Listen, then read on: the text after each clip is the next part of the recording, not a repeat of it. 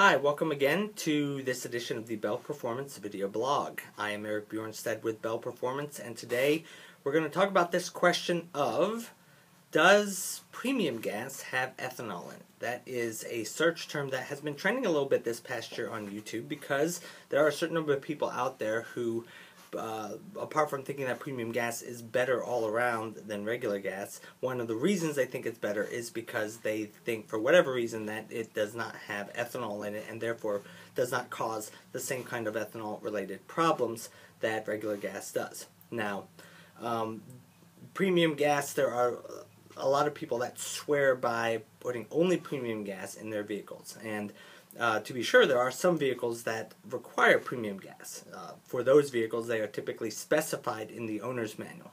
Uh, for the people who swear by putting premium gas in cars that don't really need it, well, we tend to lump those people in with the same people who swear that you have to change your oil every 3,000 miles. There's nothing wrong with doing that, but it may not be the most cost effective way of doing things, and you may not be getting as much benefit uh, as you think.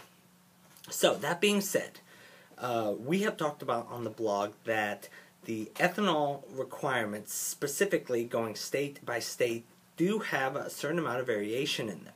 There are some states that exempt certain classes of gasoline from whatever ethanol requirement they've adopted on the state level. Now, uh, as of 2012, as of the present time, there are um, two states uh, specifically that have exemptions for premium gas not having to have ethanol in it. Those two states are Missouri and Montana.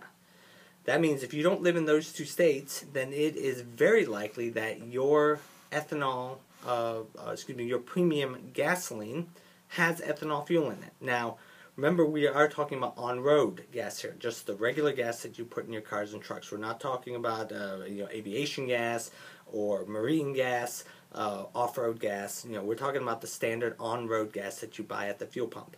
So, only two states are there in the union, Missouri and Montana, where the premium gas is exempted from having to have uh, ethanol in it. So, for the rest of us, um, it doesn't matter if you're buying regular or premium gas, you're still getting ethanol in it. Now, it makes sense that premium gas would have ethanol in it because the refiners use the ethanol to try and raise the octane rating.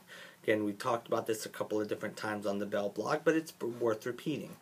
Um, many times, a refiner will take a lower octane gas uh, let's say an 87 and then they will add ethanol to it in order to raise it up to whatever it has to be whether it's 89 or 91 or 93 and so that that that's just more confirmation that premium gas is very likely to have ethanol in it.